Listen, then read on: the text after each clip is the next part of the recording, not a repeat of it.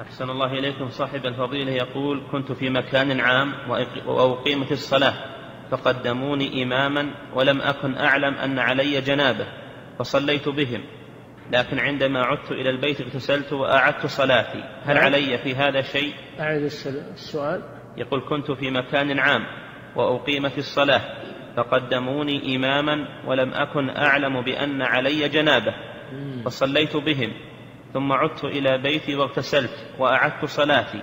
هل علي في هذا شيء؟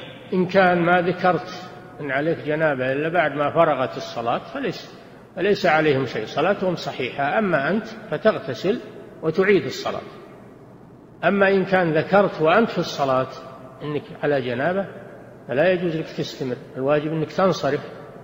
فإن استمررت في الصلاة وأنت تعلم أنك على جنابه بطلت صلاتك وصلاتهم فعلى الجميع الإعادة.